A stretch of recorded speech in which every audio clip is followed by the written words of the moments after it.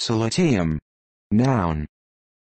1. Law, a form of compensation for emotional rather than physical or financial harm.